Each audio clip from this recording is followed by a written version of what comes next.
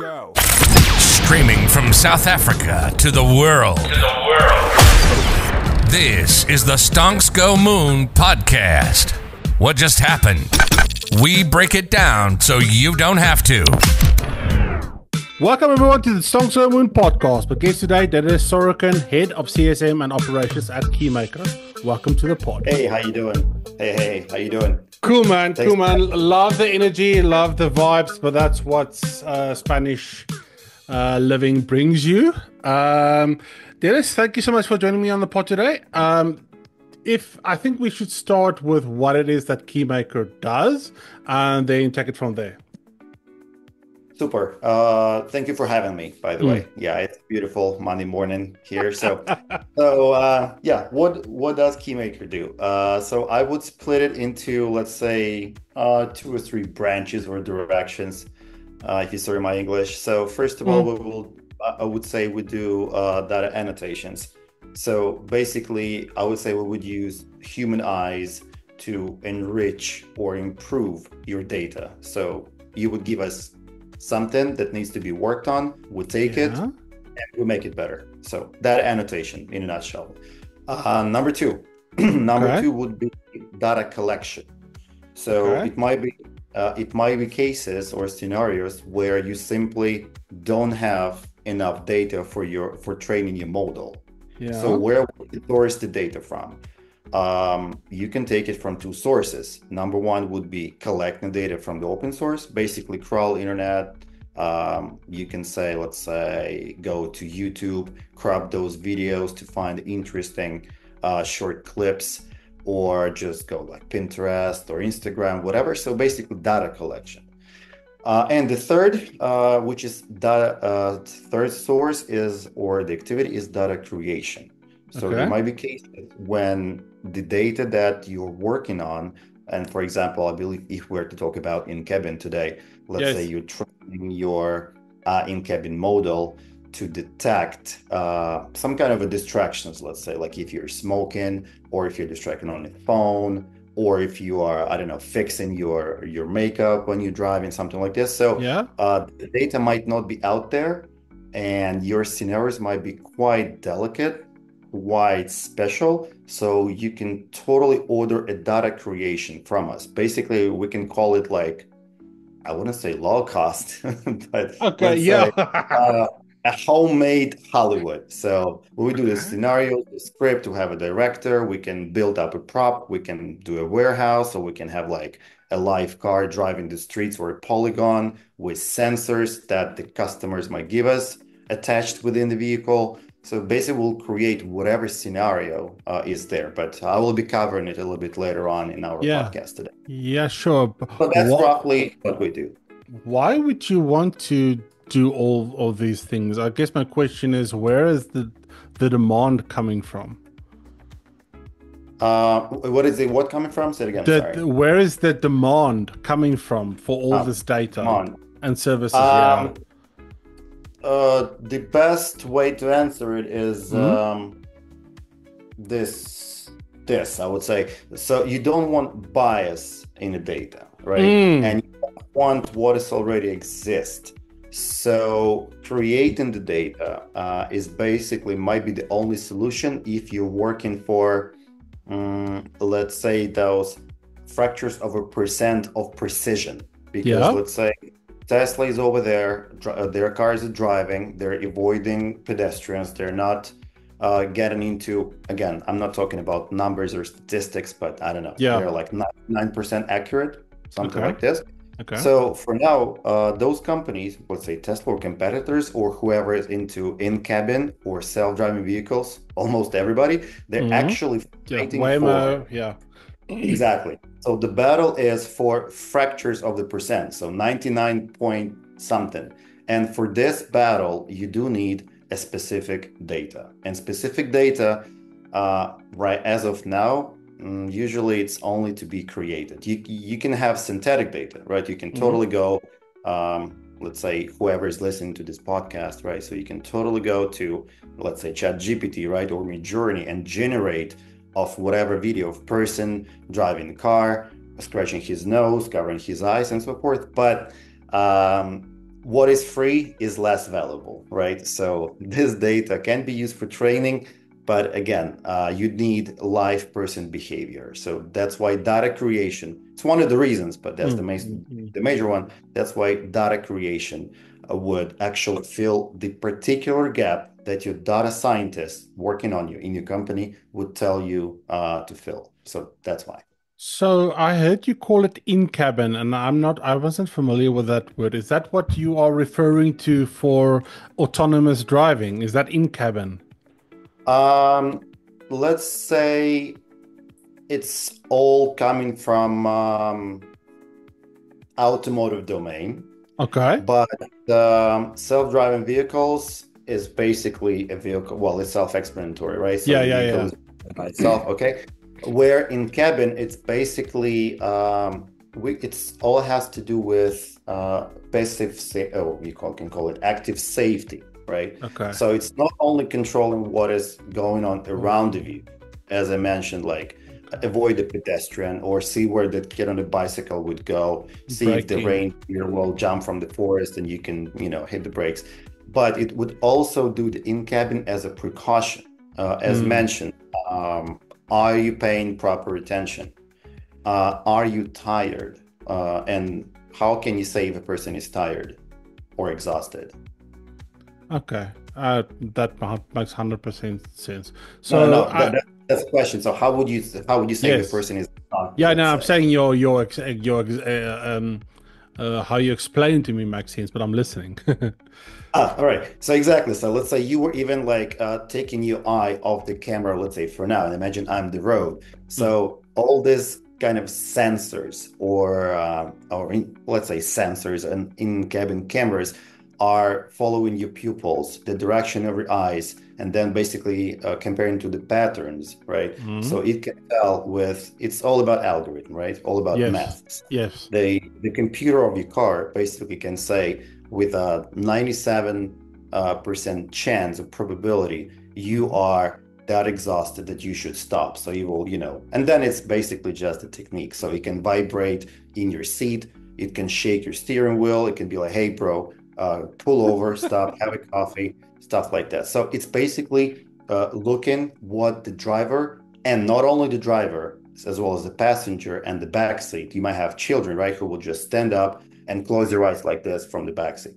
So mm-hmm. it's basically uh, tracking whatever is happening inside. So that's why it's called in cabin. Mm. Well, but it's a part. It's a part. It's a, it's of, a part of, of yes. Exactly. Yes. Yeah.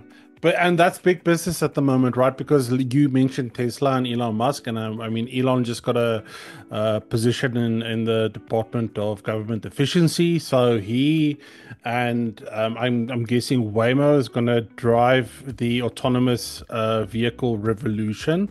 Um, is that a heavy industry for you guys that you are looking to, or you are involved in, or looking to in, get involved in further?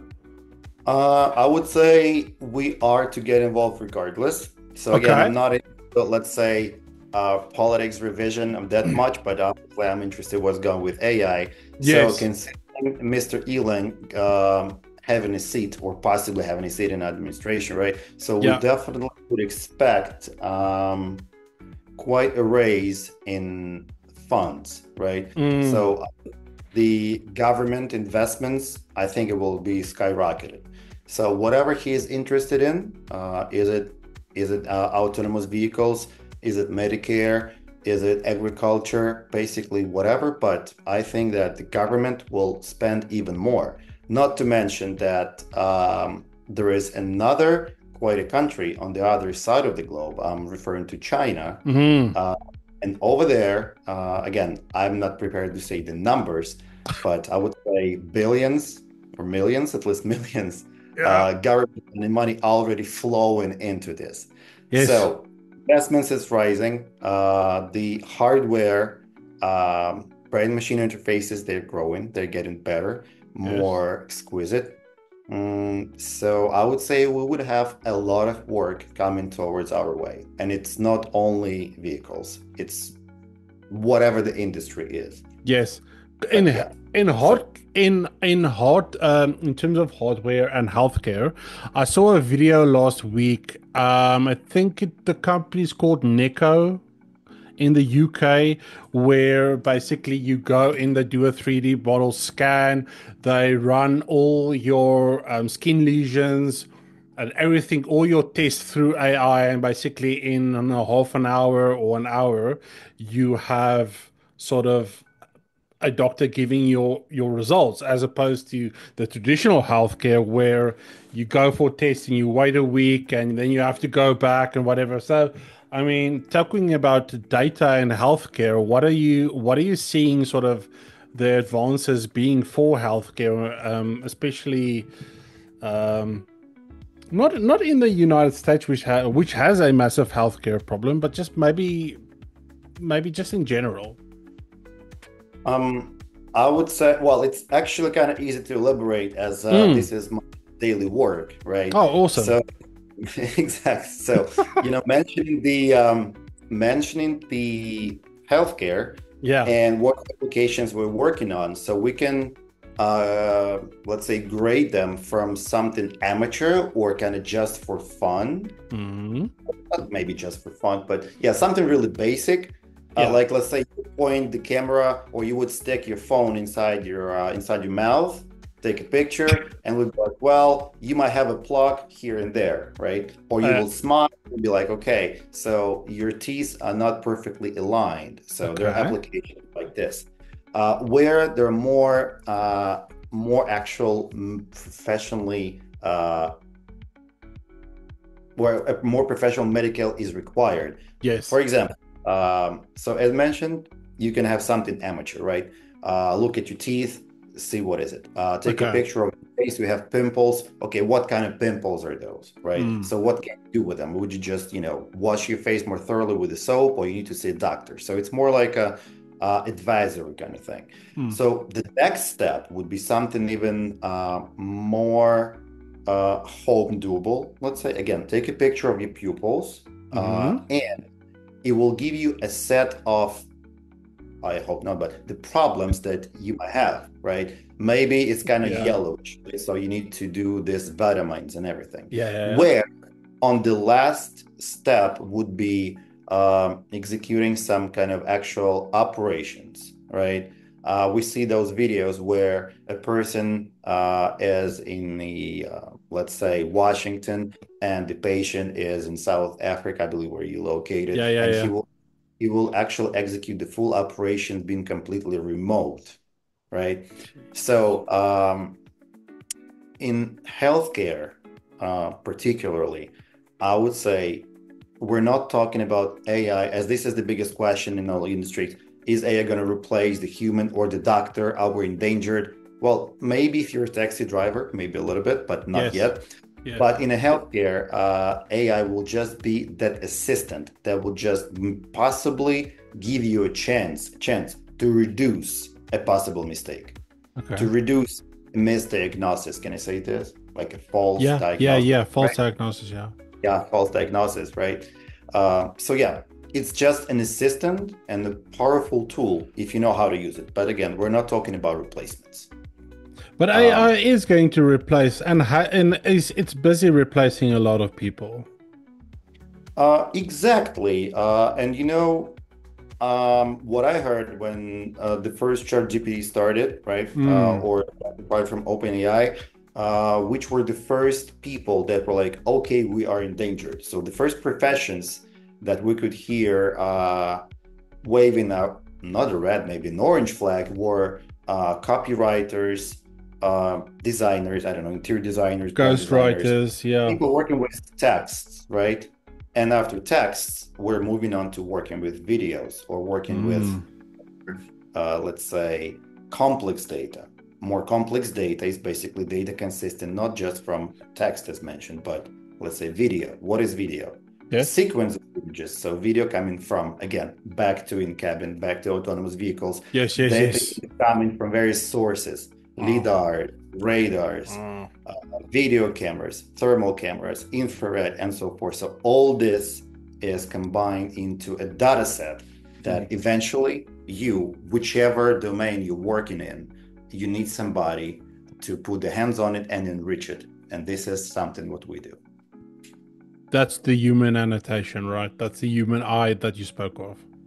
E- exactly. Um, you, and you know, uh, a, a, a, quick small addition: you can Sure. train the data to work on the data, so you can have basically AI improving the AI. That's what it's already doing.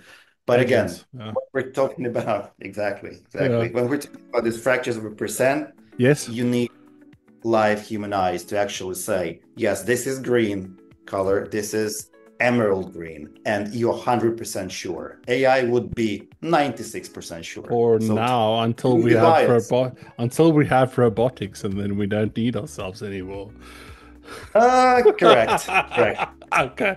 Dennis, thank you so much for joining me today. Fascinating conversation. If, the, if the listeners want to go and connect with you and found out more about Keymakr and what it is that you do, where can they do that? Uh, well, you can definitely visit our website. That will be the uh, the best landing uh, page location, which is uh, uh, 3Ws uh, Keymakr. Uh, sorry, 3Ws uh, keylabs.ai. Okay. And we'll put all the links in the comments if you're an X as well. And to our listeners, peace, love, and prosperity. And we'll catch you in the next one. Cheers.